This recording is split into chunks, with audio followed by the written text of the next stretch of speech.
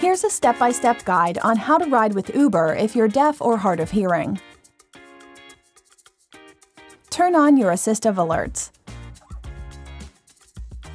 Assistive technology, such as visible and vibrating alerts, can help riders who are deaf or hard of hearing use the Uber app easily.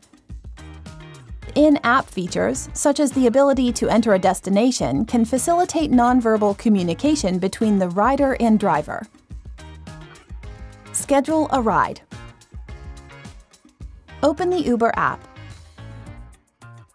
Then tap Schedule or the button that says Now located just to the right of the Where To bar.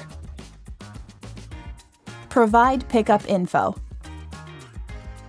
Set your pickup date, time, location, destination, and ride type, and get a price estimate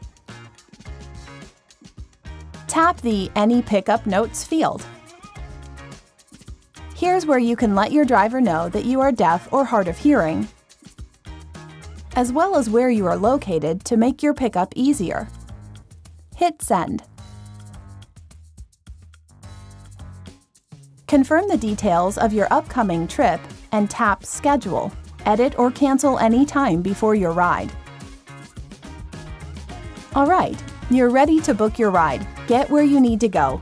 With confidence, with independence, with Uber. Compliments of your public transit system.